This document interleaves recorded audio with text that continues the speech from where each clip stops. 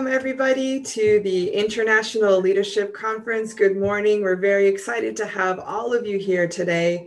Our, our themes for this, the next few days from today, tomorrow, and the next day, July 27th through the 29th, is best practices in track two diplomacy.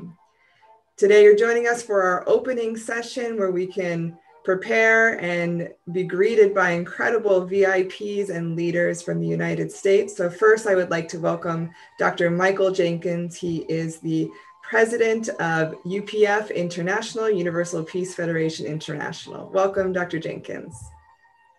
Thank you, Kayleigh, and welcome to our audience throughout America and some throughout the world. The president of the Universal Peace Federation International, as well as the chairman for the UPF of North America. It's very, very uh, wonderful to be able to spend this time with you. As Kayleigh mentioned, our program for the next three days is a number of sessions on track two diplomacy and how we might bring enemy nations together uh, to bring peace.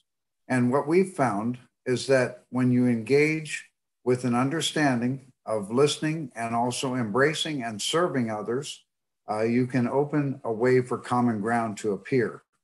And that is our founder's intention. Uh, Dr. Hak Ja Han Moon, who co founded the UPF and the International Leadership Conference with her husband, her late husband, Reverend Dr. Sun Myung Moon.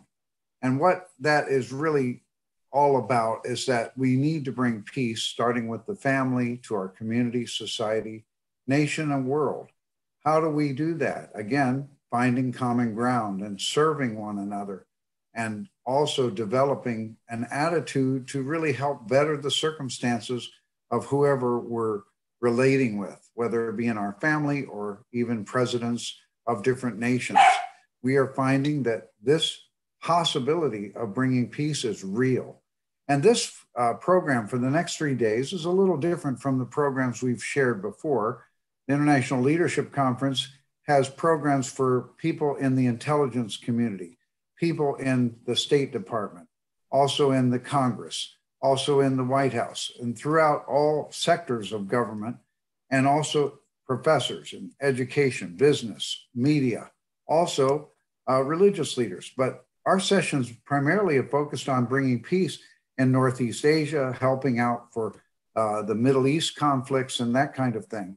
Uh, but generally speaking, we've been dealing a lot with the uh, track one diplomacy, where it's really between officials and scholars and others who are working together to try to advance peace between nations. Track two diplomacy, however, uses what is called soft power.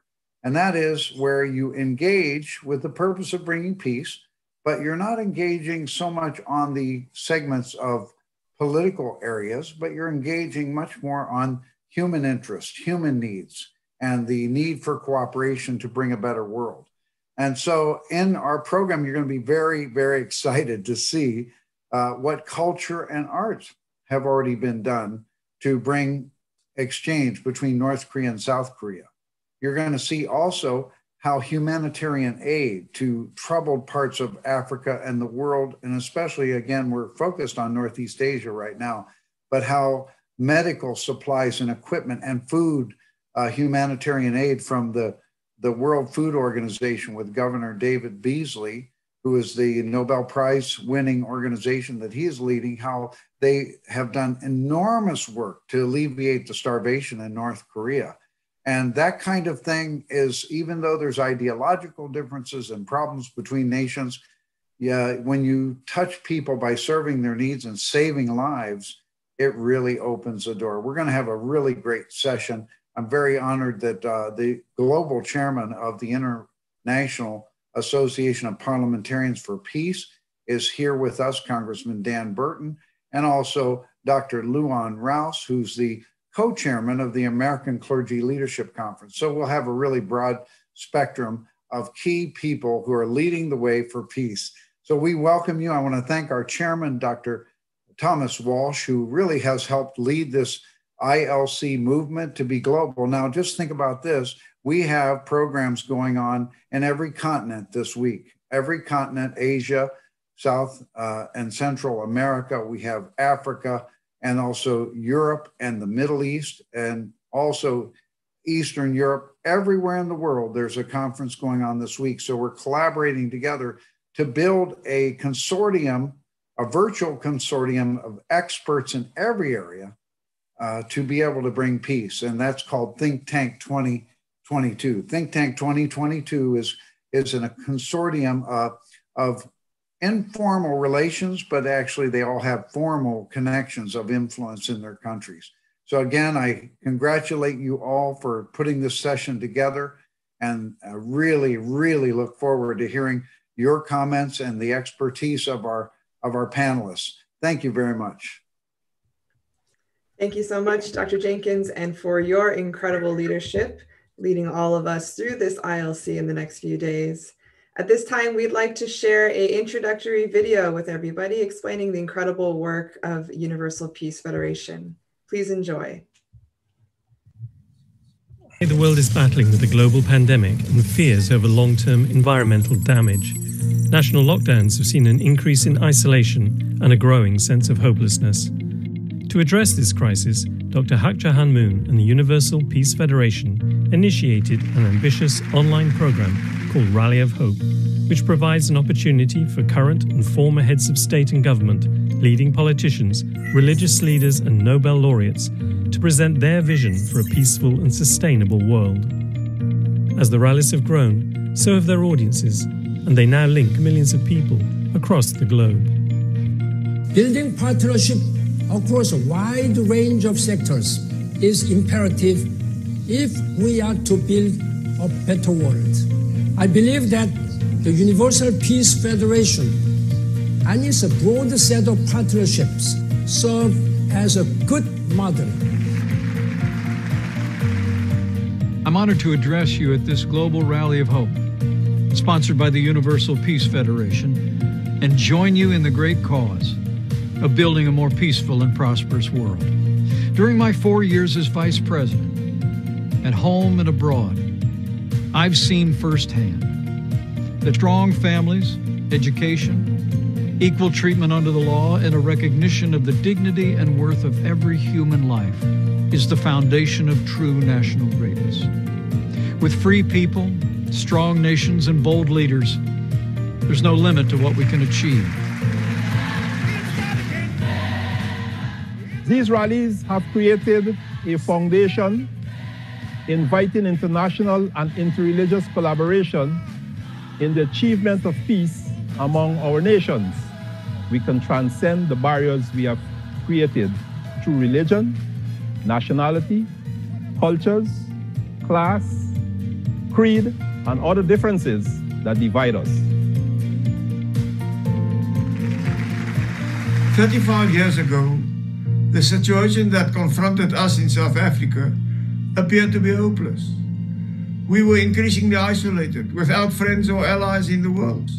However, we finally made it to our first fully inclusive elections on 27 April 1994, to the inauguration of President Mandela, and to the adoption of a truly inclusive and democratic constitution. But above all, we have learned the importance of never losing hope. The upliftment of the common good over and above personal interests is a sure way to eliminating conflict and a pathway to attaining peaceful growth and development in Africa and the world. We must recognize the history shows that the rights and freedoms of ordinary people are critical to creating and sustaining our prosperity and peace over time. If there is any organization capable of convening a truly global network of people to genuinely shared efforts, then it is this one, the Universal Peace Federation. The issues being taken up in this rally are indeed critical to the challenges of our time and need to be accorded the highest priority it is important for us to address them so that this collective effort will reinforce attention on these concerns. Let us promote a culture of peace and harmony around the world. Let us work to heal the broken trust that has fractured societies. Let us encourage facts and truth instead of hatred and bigotry. Let's also instill a sense of hope and future in our youth. Back in September 2010, it was, for me as the then Prime Minister, and for my compatriots, such an unforgettable experience to host a delegation of the Universal Peace Federation and of the world class Little Angel Children's Dance Troupe and Choir in Brussels. Your work is important, your work is crucial, your work is the pathway to a better future, a beacon of hope in these darkest times. We still have a very long way to go before every child in every part of the world has enough to eat. But the Republic of Korea's story gives me hope for the future. WFP started working in the country way back in 1964 in the aftermath of the Korean War, and for 20 years we supported the Korean people with food assistance.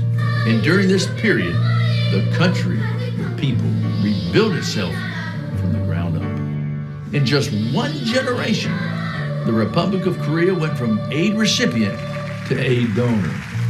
It was important to us that we were making a vaccine for the world and that it should be made widely available with no profit during the pandemic or at any time for vaccine used in low and middle income countries. AstraZeneca shared our vision. This vaccine was made for all of us to protect each other and ourselves. When I had the honor to receive, on behalf of the European Union, the Nobel Peace Prize, in 2012 in Oslo, I had the occasion to underline the very close link between peace and also the values we have in a society. The society at all levels, starting with the family. That is our most basic community. There is one word that has great meaning to us all, and that is the word family.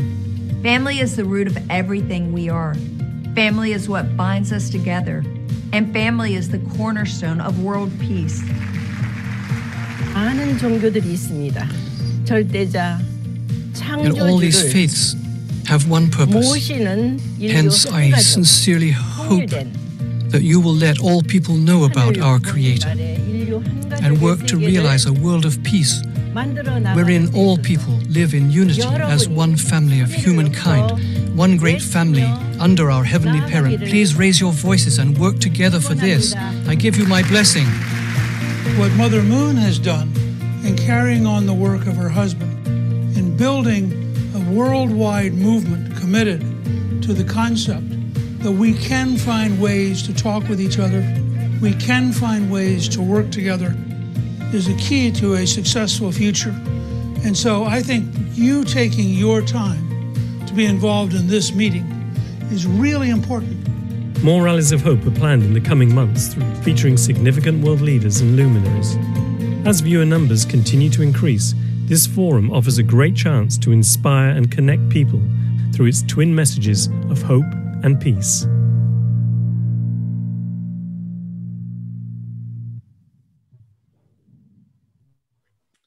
Thank you very much. As you can see from that video, UPF is connected to an incredible group of leaders from all over the world who are really working together to bring about peace.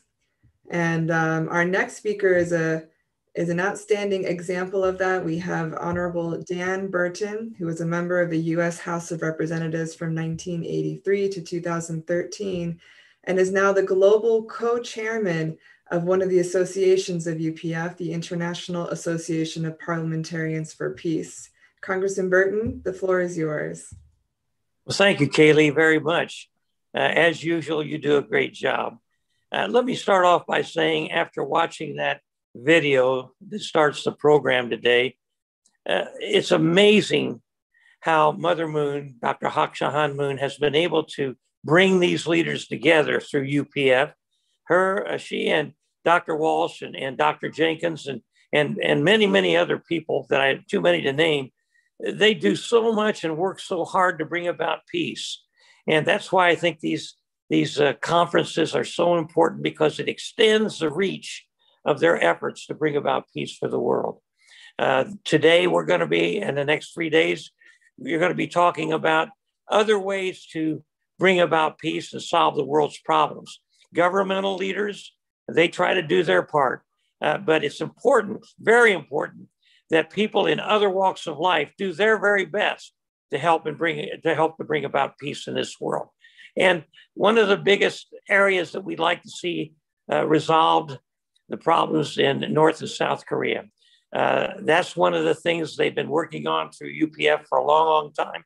And because of the importance of that part of the world and that that uh, continent or that those two countries, it's extremely important that we put that at the forefront so we don't see another conflict break out that will cause severe problems in this in this world. So today, in my short period of time, I'd like to say to all the people who are watching around the world, it's important that you get involved, that your organizations get involved, that your non governmental organizations get involved, and your religious groups to talk about world peace. In a world like what we have today with the virus and with the threat of uh, possibly even nuclear war, it's so important that we realize the paramount objective, the paramount objective that we ought to seek is a peaceful world. And everyone working together and talking together about this, I think, can reach that goal. I'm honored to be the co chair of the International Parliamentarians for Peace. And we've been reaching out to parliamentarians and ex parliamentarians all over the world. We have thousands that are now involved, but we need more people involved. And that's why I say to all of you who are watching today, please get involved. Talk to your leaders in your country, not just the governmental leaders, but the people in all walks of life, the NGOs, the church people. Talk to them about getting involved in the quest for world peace and solving these problems. If we all get together and do that, I'm sure things will be good throughout the 21st century. And with that, thank you for letting me say a few words today. It's really nice to be with you, and God bless you all. Thank you, Congressman Burton. Those were excellent opening remarks and really appreciate your call to action to all of the leaders watching today to get involved in this important effort for peace in the world. And with that, I'd like to welcome our last speaker for this opening session. We have Dr. Luonne Rouse. He is the co-chairman of the American Clergy Leadership Conference. Dr. Rouse, we're excited to have you with us this morning.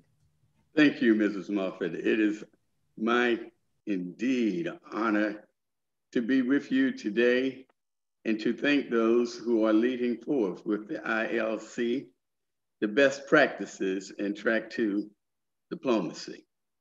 I join you today on behalf of the American Clergy Leadership Conference, Dr. Chang-Shik Yang, as we represent in the United States of America the ideals and the desires of the heart of God with the heart of Dr. Hak Ja Han Moon, the true mother of peace, in leading forth a heavenly path to peaceful reunification on the Korean Peninsula. A peaceful goal is for both North and South Korea. The leaders there are desiring to be united in heart, united in mind, united in spirit. Historical disruptions have brought them to the course that they are currently on. Dr. Hak Ja Han Moon, Mother of Peace, Daughter of God, has spoken for the chosen to lead a heavenly reunification path that we may follow away from a 71 years path of violence, separation, and lingering threat of nuclear harm. She has asked us to be on the path to heavenly reunification and encourage the participants to be excited, inspired, in proclaiming throughout the world peace starts with me. As a part of the American Clergy Leadership Conference, it is our ultimate desire to be as we were meant to be when founded on May the 21st of 2000 in Korea.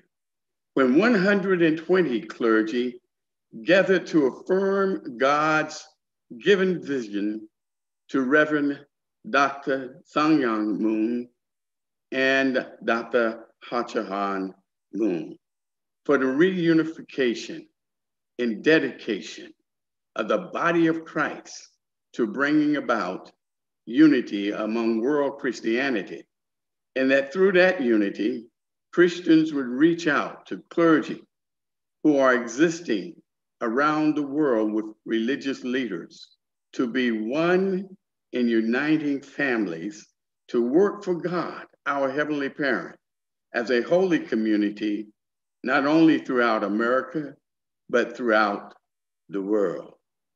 It is our joy and privilege to unite with those who on January the 27th of 2018 at a True Family Values Conference in Chicago to start the Interreligious Association for Peace and Development. That association is operating today to extend but Dr. Thomas Ross was experienced enough to start in Seoul, Korea in November the 18th of 2017, where the International Association for Peace and Development brought together 400 religious leaders, including 200 from America, to have Christianity join with Islam, Judaism, and other major religions to see that we could work in harmony together and bring about what is necessary to heal the world and to work for reconciliation and full understanding and cooperation towards world peace.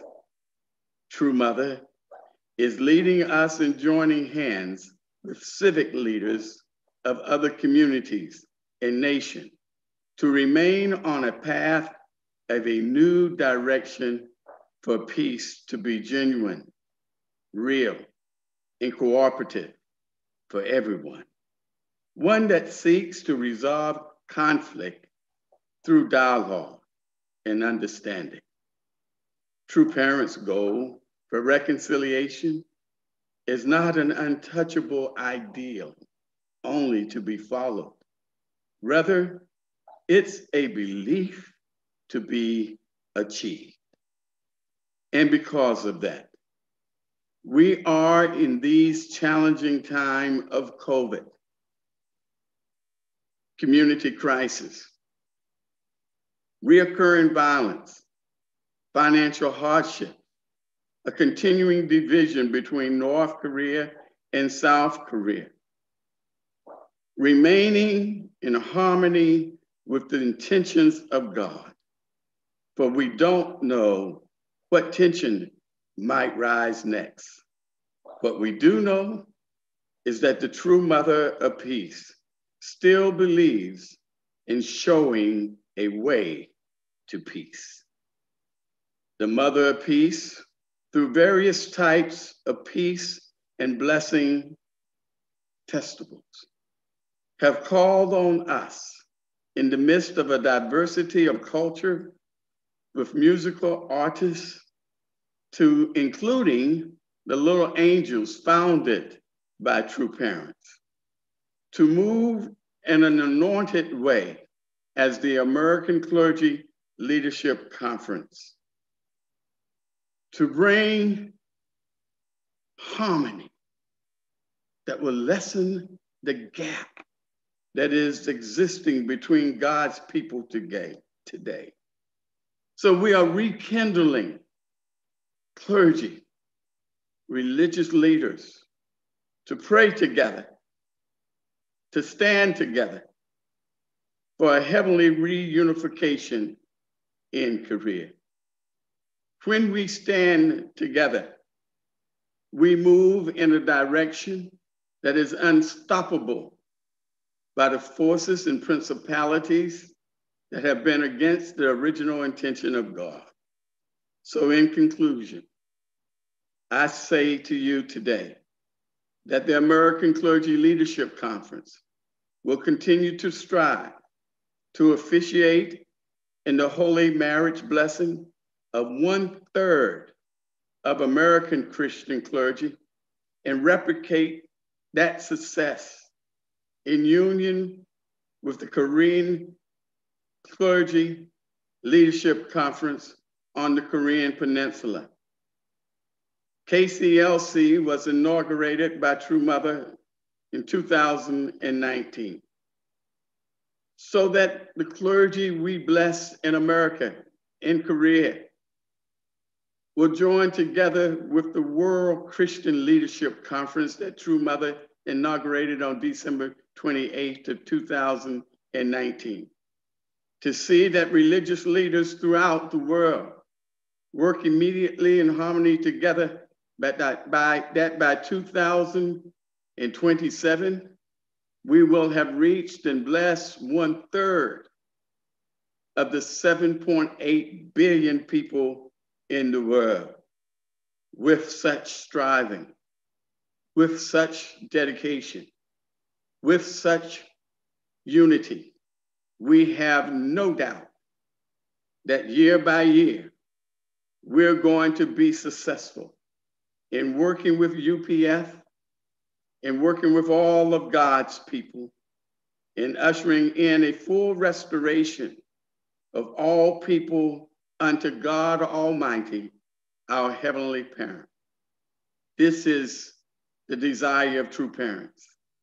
This is the direction of the Mother of Peace, the only begotten daughter.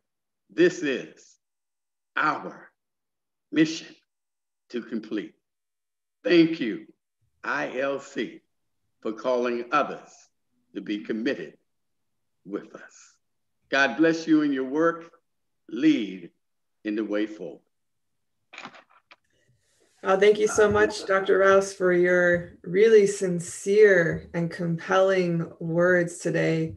The perfect way to start off this international leadership conference, really having that kind of perspective in mind of the world's religions coming together and the importance of spiritual leaders at this time. And with that in mind, I'd like to invite all of you to join me in an opening prayer as we kick off this ILC. Most beloved Heavenly Parent, good morning. Thank you so much for the incredible leaders from all over North America who are joining us today, God, to really work together, bring together our best practices to talk about how to bring peace, especially in the Korean Peninsula in this turbulent time, God. We pray for your presence and for you to use this time well. We offer all these things in your name we pray. Amen and adieu. So thank you for joining us for the opening session today, everybody. In just one minute, we're going to start our next session, which is the NGO initiatives in peace building. So just stay here and uh, enjoy our video as you wait for the next session to begin. Thank you again for all of our panelists in this opening session.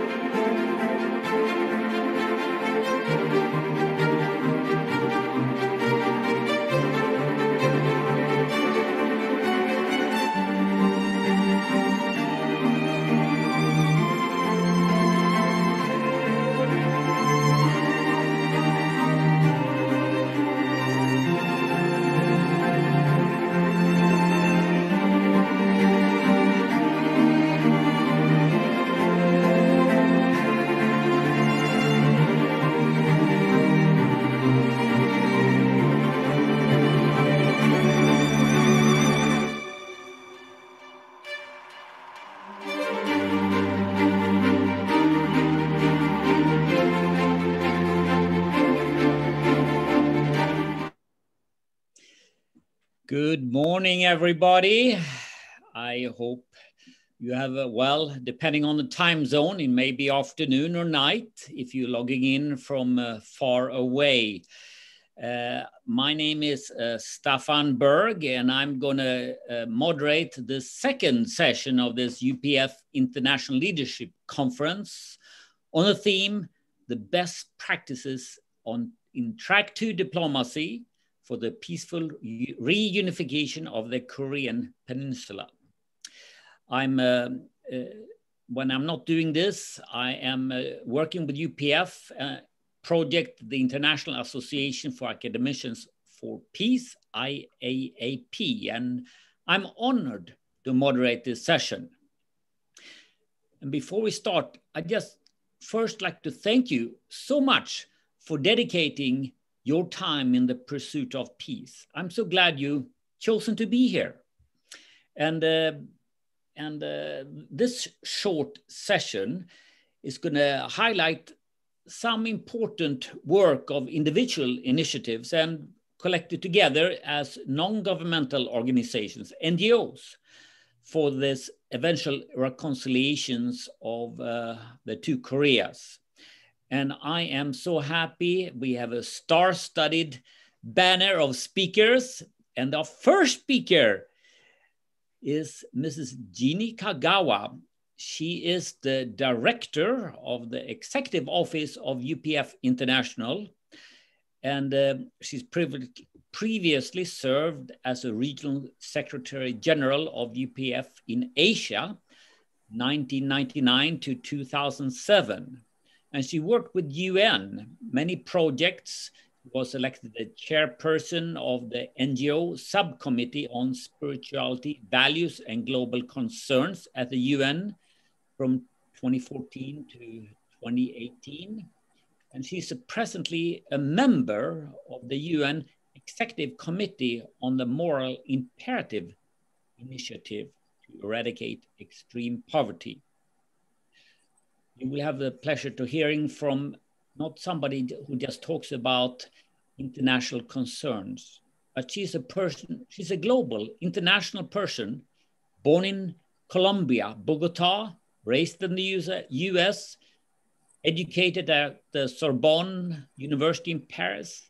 He worked for UNESCO and spent just about three decades in overseas assignment, Malaysia, Thailand, and Philippines, advocate, doing advocacy for peace and service projects for women and children under the umbrella of UPF.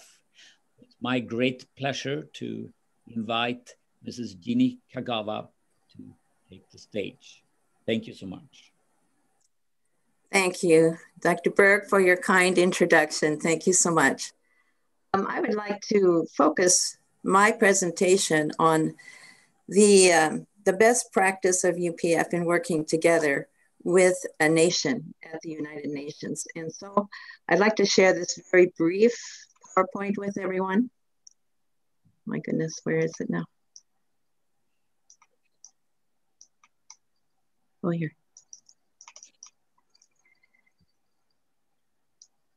Everything occurs within a certain context. So when we want to talk about the initiative of UPF, based on the vision of Father and uh, Reverend Dr. Sun Myung Moon and his wife, Dr. Hak Ja Han Moon, whom we call Father and Mother Moon, they they had a certain vision for the United Nations. So I'd like to talk about first the context of the United Nations and how the United Nations developed and how Father and Mother Moon viewed the United Nations and why they wanted to put an interreligious council at the UN.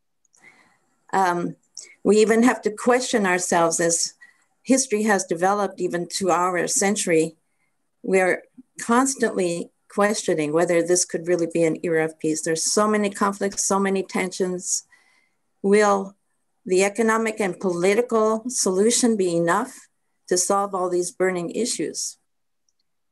And so I'd like to turn the attention to the United Nations and the context in which the United Nations was given birth in 1945. There was untold um, sorrow and heartbreak due to two world wars. And um, religious leaders and as well as civic leaders and government leaders came together and said we need an institution of peace so that this we have to save the world from the scourge of generations and generations of war and so there was very strong passion there was very strong commitment to bring peace through a peace institution as the, as the united nations and emphasis they emphasized human rights, dignity, and the worth of human beings, equality between men and women, justice, respect, and social progress.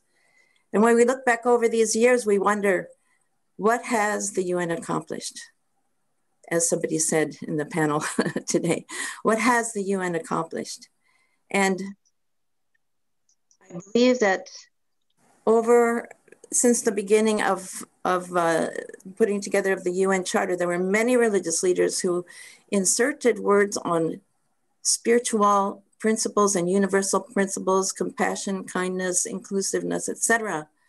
However, the political reality of the United Nations was that Russia was on the Security Council, and therefore there was a strong emphasis to develop the United Nations as a secular institution. And this is where the United Nations began to emphasize only political and economic solutions, and they ignored all the other possibilities for, you know, providing a, a more uh, holistic view of human beings and their worth and their dignity and so on.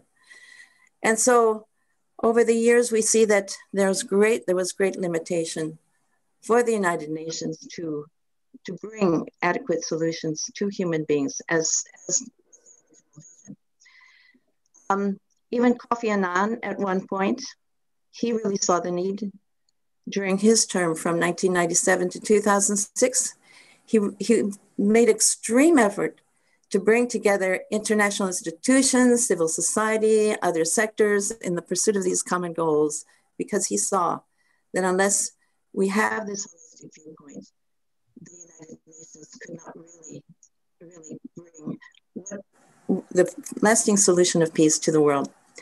Um, that's why when our founder, Father and Mother Moon, when he realized the state of the United Nations, he felt a very, very passionate urgency to renew the United Nations.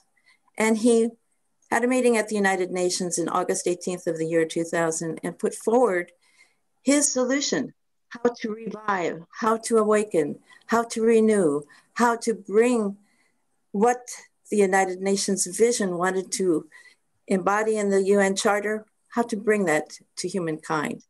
And so Father and Mother Moon pr- proposed to renew the United Nations Father Moon said, I believe that there's an urgent need today within the United Nations and through its many activities to encourage mutual respect and increased cooperation between the world's political and religious leaders. And you heard through Dr. Rouse the passion of uh, the religious leaders and their capability, if it, in unity, what they can do to bring awakening and bring renewal to this world. And Father was very much aware of it and had a very, very deep sense of um, he said he, he, he, at the United Nations itself, he made a proposal and made a serious consider. He said, I, I submit a serious consideration that should be given to form a religious assembly or council within the structure of the United Nations because the wisdom and vision of great religious leaders will substantially supplement political insight, experience, and the skill of world political leaders. Um, as you know, after this great inspirational meeting conference at the United Nations, the world again was experiencing extreme serious devastation due to 9 11. The 9 11 incident was not only a problem at the United, uh, of the United States, it was a global problem.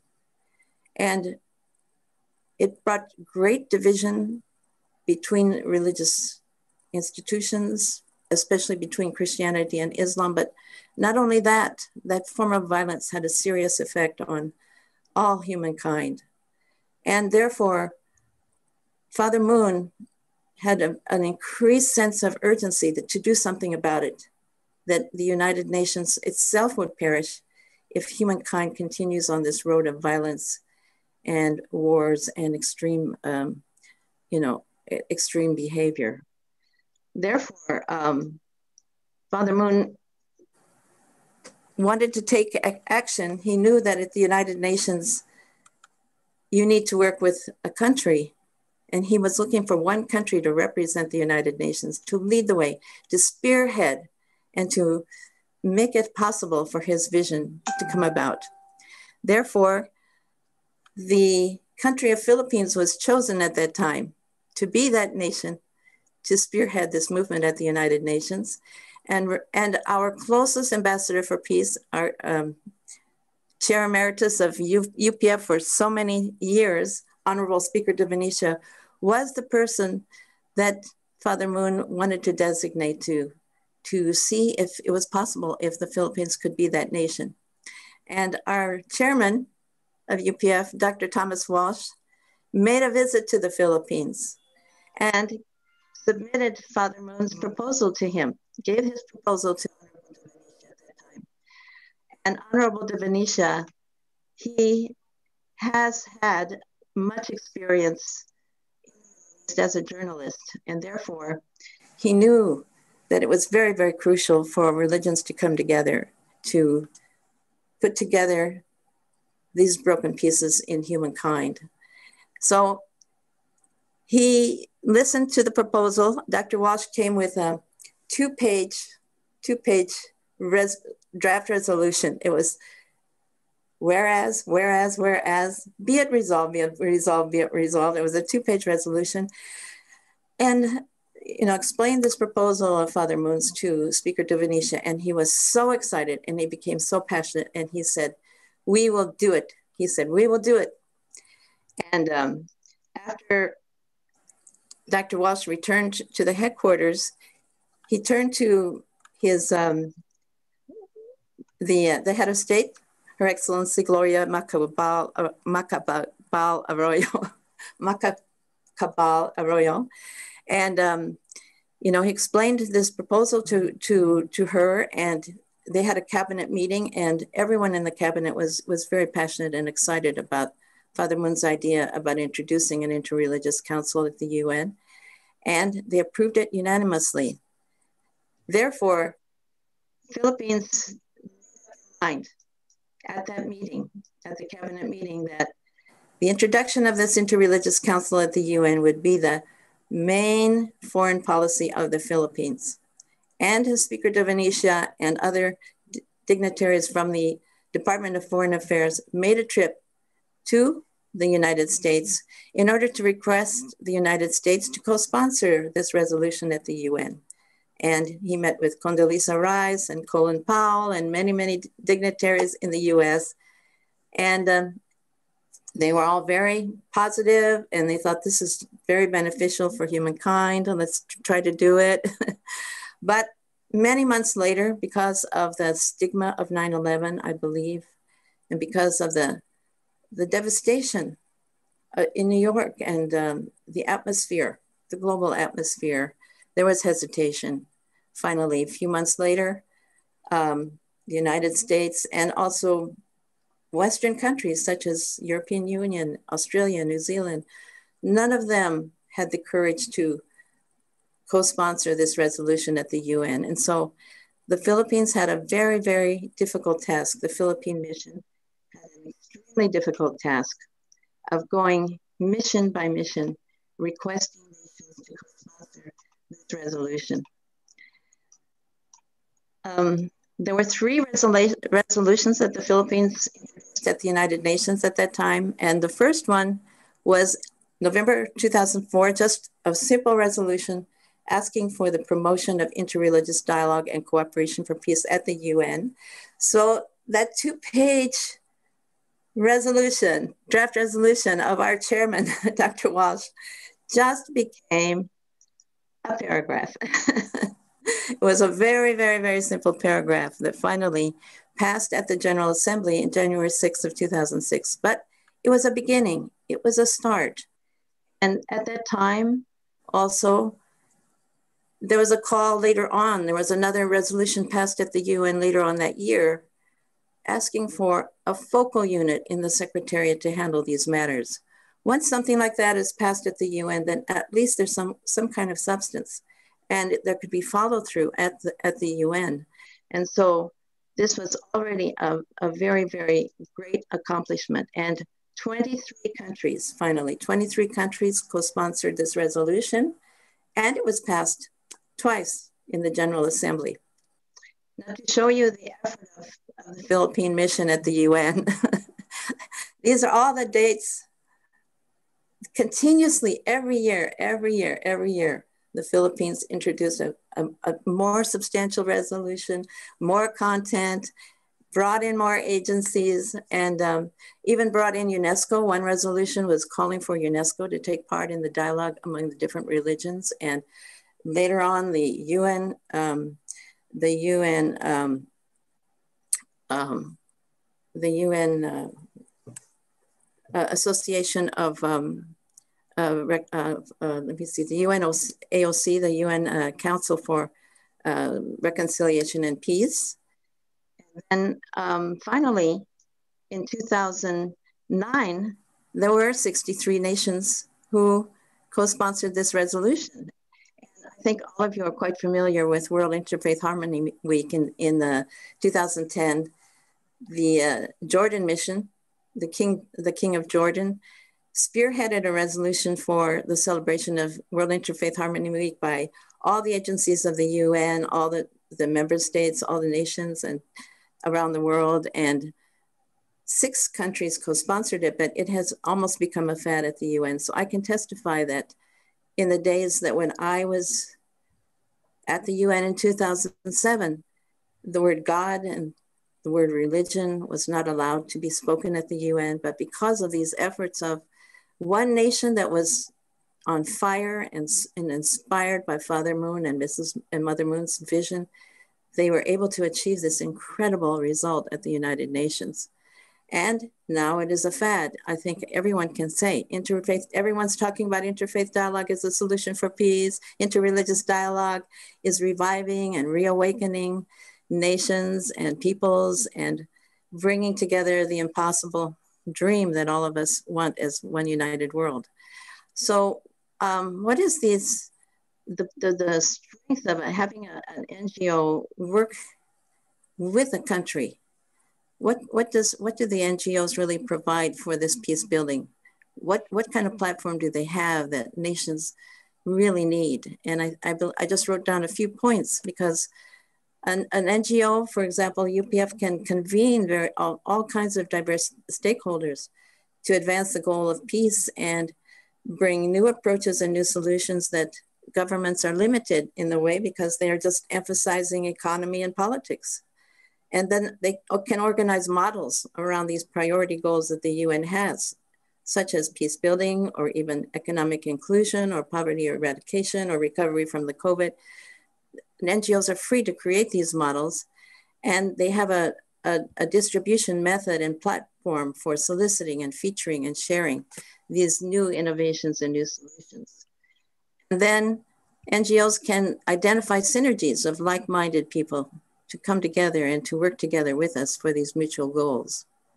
And also, um, which is very important at the United Nations, they can identify and they feature best practices. So I would say that the um, introduction of an interreligious council at the UN promoted by Father and Mother Moon is a best practice, which has now been, you know, caught fire by other organizations or other religious movements or the religions.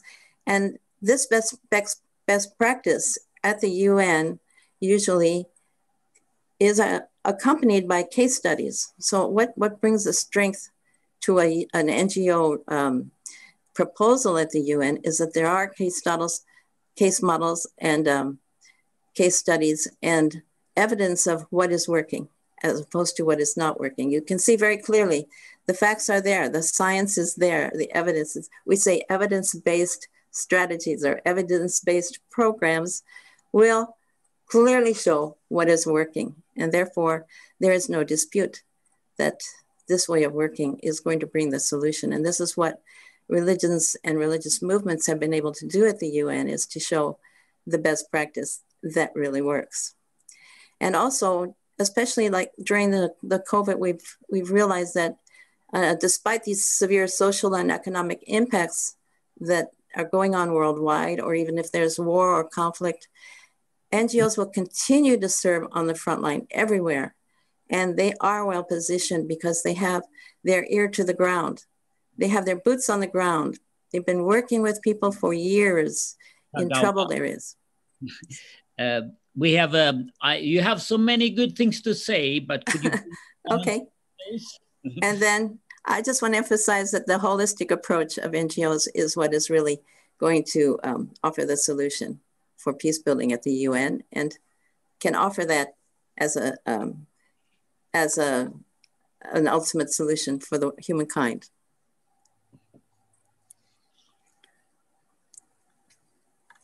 Thank you. Thank you, Mrs. Kagawa. You have really shared uh, deep and insightful content, and I really shown that what one man can do and one woman can do to influence this global organization of the United Nations to change the world and bring allow dialogue. Uh, that is wonderful. We really appreciate that, and I'm sure you have many more words of wisdom from your years at the UN and elsewhere to uh, to share with us. But in the interest of time, we need to move on to our uh, next speaker. Actually, we have very short uh, presentation time allotted to us today. So I apologize for that. And I also want to apologize for the technical issues in maybe getting the audio across in this session. And I uh, that happens sometimes. Anyway, we have a wonderful speaker coming up now. She's also a global personality, uh, Mrs. Tomiko Duggan. She's a senior vice president of the Universal Peace Federation USA and the USA coordinator of the Interreligious Association for Peace and Development, IAPD. She is uh, herself global. She's hailing from Japan, but she has traveled to more than 60 nations, organizing conferences, symposia, fact-finding tours, and bringing to and she's aiming to bring together opinion leaders, educators, and other professionals to help world peace to come about. And she currently focuses on connecting religious leaders through interfaith dialogue with IAPD and allow a global perspective to come to the fore, the spiritual and physical well being of their local communities in service of the world. So, without further ado, Mrs. Tomiko Duggan, the floor is yours. Good morning, Dr. Staffan. Thank you so much. I'll begin. Time is short. So when I was a sixth grader in Japan, I had two classmates whose parents were Korean. I vividly remember one telling me that she was going back to North Korea with her family after finishing the school year. She told our school friends that North Korean government was preparing jobs and nice houses for those Koreans living in Japan and encouraging them to return their families to North Korea, where their lives would be so much better in the ideal society that was being built. So her family decided to return after her graduation. The other family decided to stay behind in Japan, not to return to North Korea.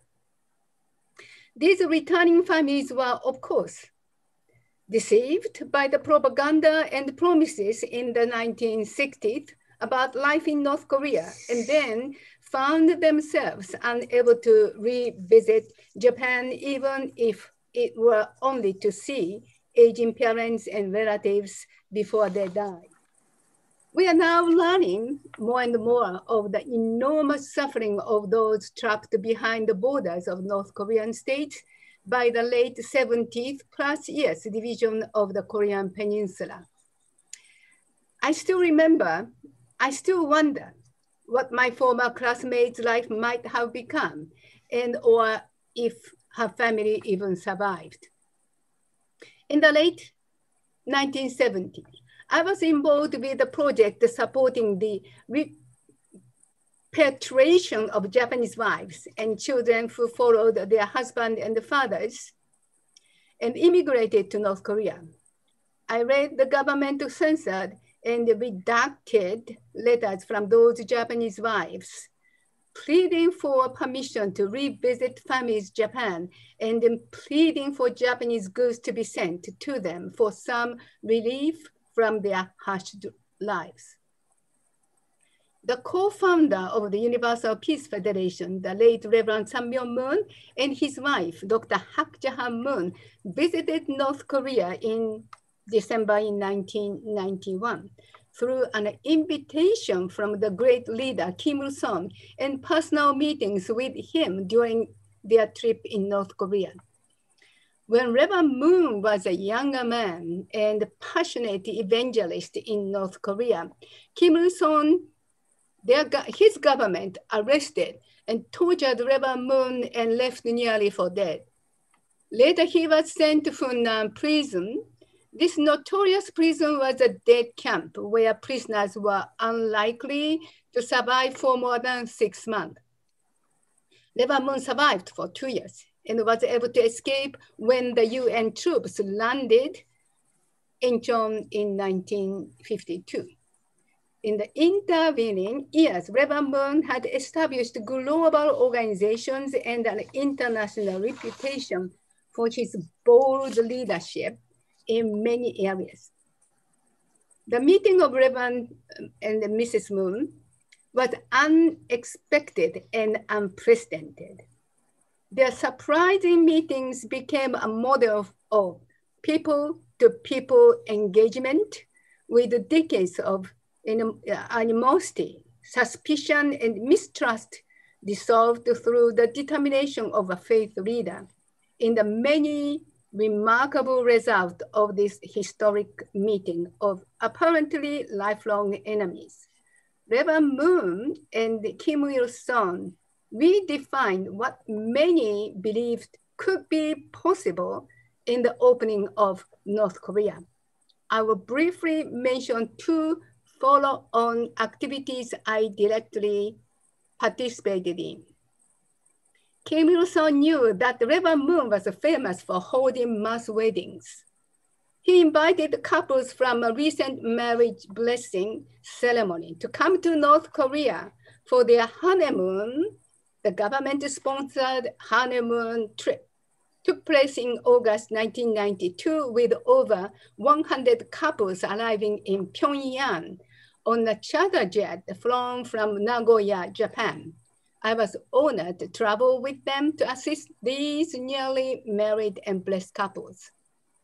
Another project that followed was the effort to open the protected and prized Mount Kumgang area to international tourism. My second trip to North Korea resulted from my selection to work together with a liaison on the North Korean side for the project.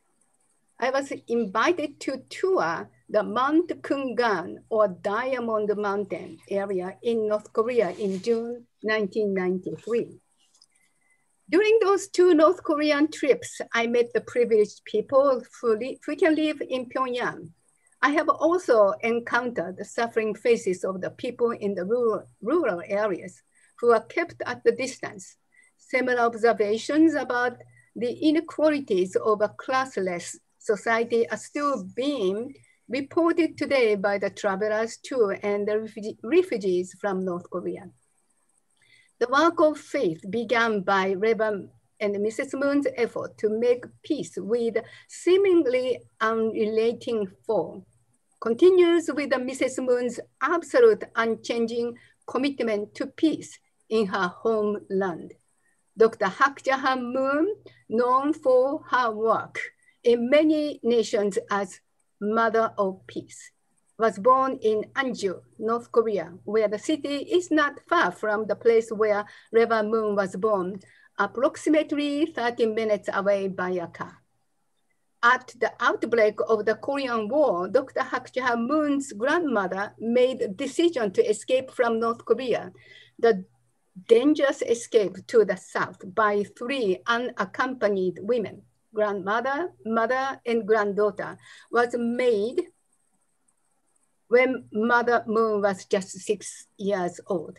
I recommend everyone read in Mother of Peace, Mrs. Moon's memoir that describes hardship of the refugee chaos in their walk of hundreds of miles with a lack of food and mortal fear of being found by North Korean soldiers. In her memoir, she comments, everybody desires peace, but peace does not come easily. If it were as commonplace as stones on the side of a country road or trees on the mountainside, we could never have experienced the terrible wars and conflict that plague the human world. Building peace demands that everyone invest sweat, tears, and sometimes blood that is why, even though we long for peace, we seldom achieve it. My husband and I walked this path and are continuing on it. So Interreligious Association for Peace and Development, IAPD, is a project of the Universal Peace Federation. And through it, we are working to develop programs with faith leaders we recognize the capacity or capability and real effectiveness of faith leaders in encouraging various forms of people-to-people -people engagement as a soft power or track two or three approach to peace and to addressing issues of concern and challenges related to current living conditions and humanitarian needs in North Korea. This IAPD webinar is specifically inviting faith leaders, experts, and concerned civic leaders to address issues on peace in the Korean Peninsula and asking them to offer their understanding and wisdom regarding steps toward the unification of the Korean Peninsula. Mother Moon in her memoir provides this insight and guidance what will possibly bring the unification of the Korean Peninsula? Military power, economic power, or political systems? They are all necessary, but if we only rely on secular power, it will not work. To experience and bring true peace, we must first practice true love without expectation of reward. The root of problem is not political nor economy. It is rooted in the mind of people. It is spiritual. With that understanding and for your fuller consideration, let me propose four basic principles for action for faith leaders and organizations. Number one, we must prevent war. Number two, we must promote track two non-governmental dialogue together with government representatives. And track three, people-to-people -people exchange such as humanitarian action, including cultural exchange and medical assistance. Number three, we must seek to narrow the economic gap between North and South Korea and to help the shift from a military driven industries to people-centered industries in North Korea. Finally, number four, we must continue delivering the vision of peace and independence, mutual prosperity or co-prosperity, and the shared universal values in making steps toward peace and the reunification of the Korean Peninsula. I just want to bring up my uh, the maybe 10 PowerPoints just to show you from that time, just one minute. EJ, can you bring up? Okay, you can see this is the Korea. The first orange is going to uh, River Moon's birthplace. Second trip was Mount Kumgang, number two. And this is the birthplace, River Moon, number two. Slide. Okay, this is over 100 Korean, uh, newly wedded, visited his birthplace. Number three, this is I was, we are able to meet elder sister of River Moon. The rice field behind is the rice field River Moon was planting when he was there, planting rice. Okay, you can see this is a second trip. Everything's so big in Korea, North Korea. Please remember, I was there 30 years ago. There was no digital smartphone or internet. There's so little information about North Korea, but you can see it's already beautiful statues there. Number two slides. We are able to see people in kids, well-dressed, beautiful. We are talk, we are able to talk to them. Number three slides. Okay, 30 years ago, like that. Number two slides. You can Google what it's like. This is a very famous place. That's like like Red Square in Soviet, in Russia, like Tiananmen Square, they have a beautiful square. So each landmark was built according to the very celebration of birthday of the founder, the great leader of Kim Il-sung. Next one.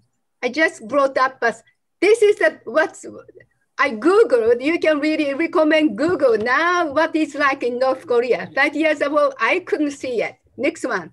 You can see impressive buildings, but see, it's like a space shuttle.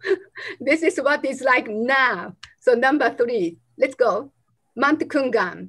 Oh, okay, so we considered, okay, here, uh, we considered North Korea as an enemy nation, but when we visited there, of course, they, they, they are not evil people. They best prepared best food they can offer as a host. And people and best food. You can see, okay, so the reason one slide back, you can see I brought this. I live, my homeland is the other side of Japan.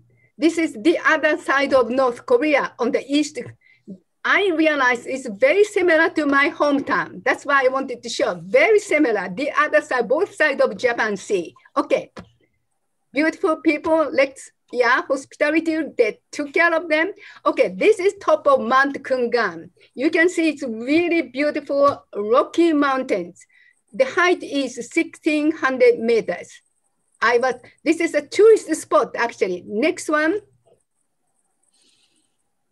See, kids can come to the, this tourist spot. The reason is right behind 1000 meters below straight, you can see beautiful pond there's a story, eight, eight angels came down from the heaven and they made their footsteps became, okay, this is a very particular uh, ship. This is a gift from Koreans who live in Japan. You can see huge, this is a gift for uh, greater Kim Il-sung's birthday. I forgot which year, 80 or 60 years. This is a gift from ja Koreans who live in Japan. Okay, so this is a book written. I wish I had wings to fly over to take care of my mother, aging mothers. This is a book published.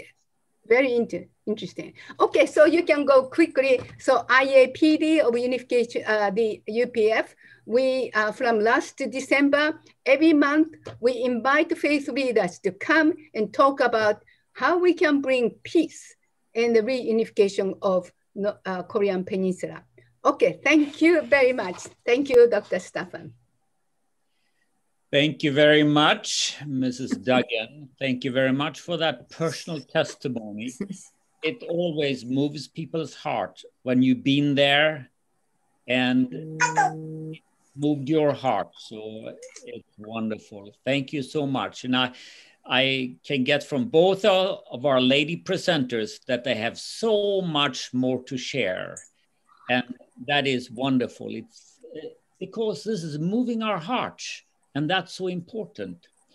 The next person, our next speaker, is going to come to us through a video already edited, ready to go.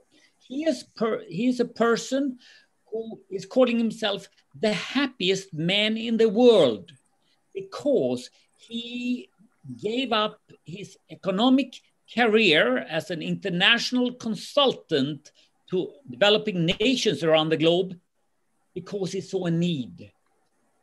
He saw a need of the sick and dying, and he was his heart was moved.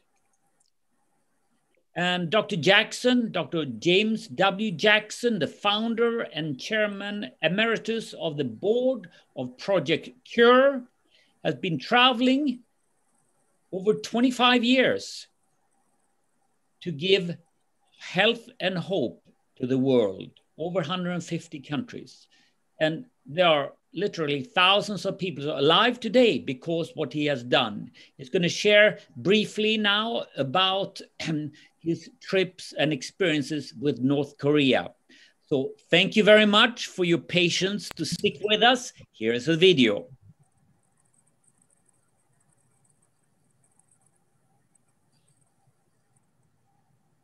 Today, uh, I would just like to, to maybe relax a little bit and talk about a subject, um, maybe we might hit it known as relationships, because the more I think about this and the more I think about what um, you folks are, are doing uh, in your efforts for peace, uh, and then kind of reflecting back on on um, our, our experiences with um, with a lot of different national leaders and and uh, in 150 different countries in the world I've traveled in, and I have just gained lots of memories. I was in in in um, Seoul, and somebody said, "Would you like to go to Pyongyang and go to the 38th parallel?" of course, I said, Oh, yes.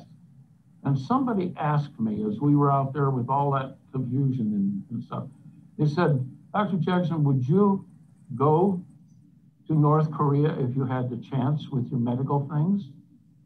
And I said, Yes. I don't have any contacts at all, but yes, I would do that. And so one of the fellows in the group had a had a contact with um, um, a leader in the in the U.S. military, uh, camp there. And he had, had previously been friends, and somehow he got a hold of this leader, and he knew of another contact, and eventually he knew the fellow in New York City at, at the UN, and, and I was connected with, with the ambassador to the UN. We talked about uh, the possibilities, and everybody got excited about it.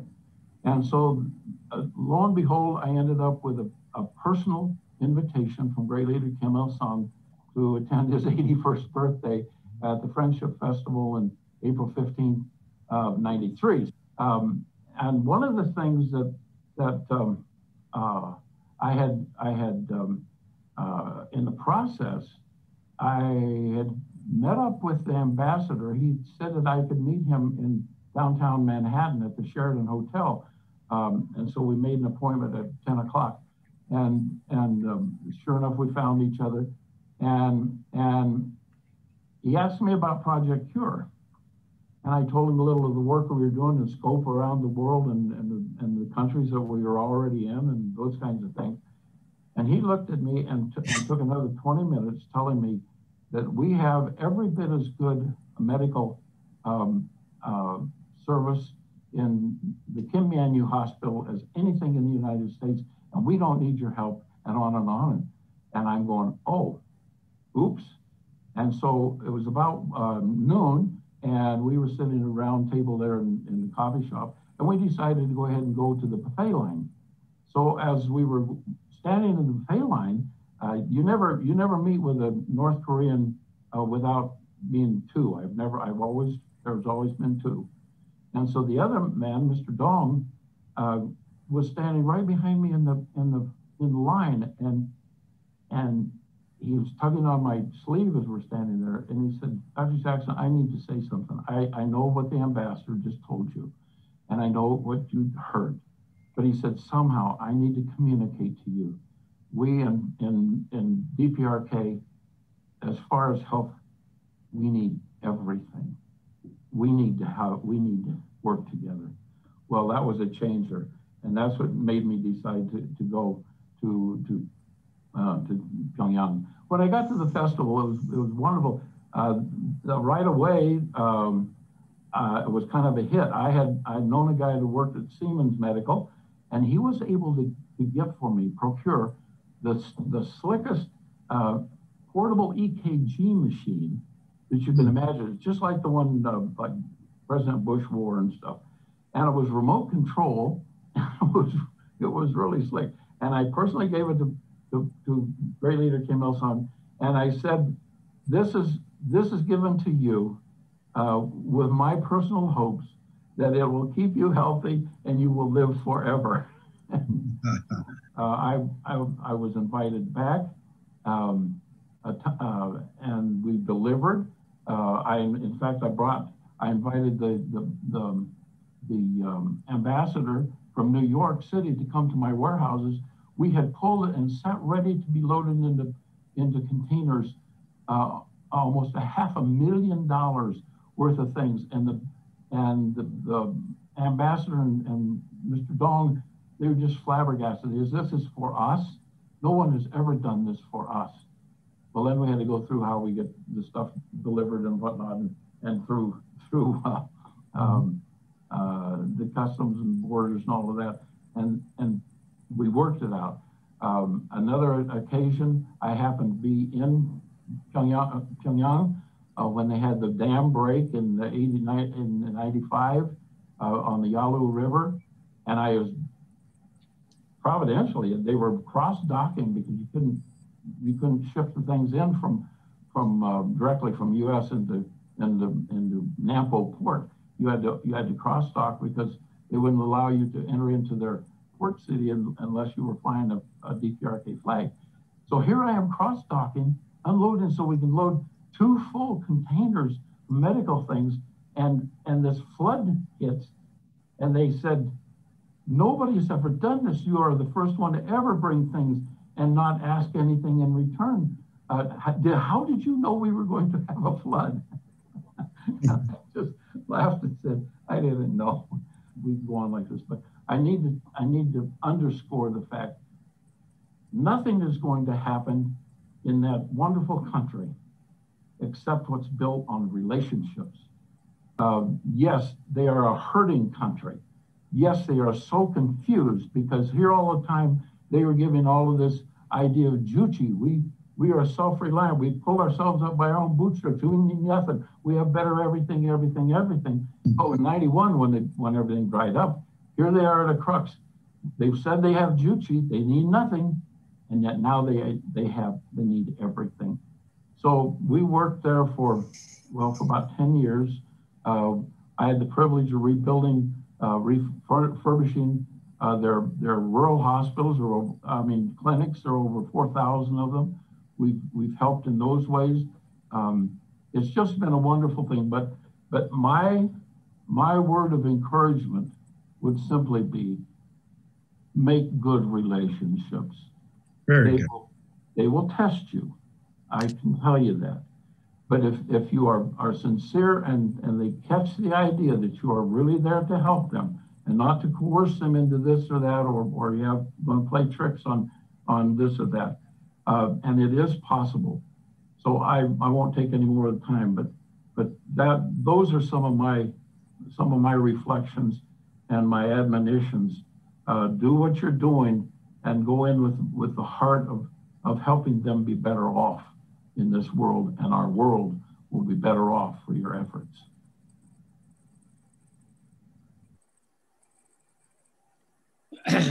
Thank you very much. Thank you very much for those words. Uh, I say this to a video, but Dr. Jackson really shared uh, wonderfully, I have to say. And uh, I appreciate uh, uh, all that, um, all those words of wisdom.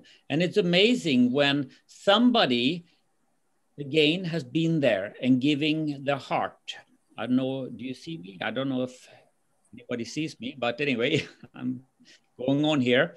Uh, somebody uh, like Mrs. Duggan, uh, Mrs. Uh, Kagawa, and uh, now Dr. Jackson have been there and done good things, following the heart, and especially as as Dr. Jackson went in, he's gone into North Korea many times to help them. Amazing, amazing work. So I really appreciate that, and I appreciate all of you. And the the real um, uh, the full video was from. Um, April 13, 2021. Mm. And we took it from a seminar uh, where he shared much more. But as in the interest of time, we do cut it short.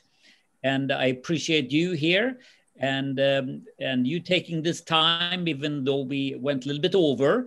Uh, I appreciate you listening to these testimonies, these stories, this heart of caring, and it seems like that's a message of um, of uh, the speakers, the heart of caring that can change the world. So I thank you very much for being here. The next session going to be uh, Eastern time at one o'clock. And that's a session three according to the schedule, uh, the role of faith leaders in track two diplomacy. So uh, without further ado, I just want to say thank you very much for joining with us and I look forward to see you again very soon. God bless you.